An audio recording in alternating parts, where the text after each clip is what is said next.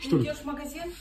Ну да, хотел выйти. Слушай, э, купи, пожалуйста, таблетки для стиралки. Да. А что с тобой? Ты что, заболела?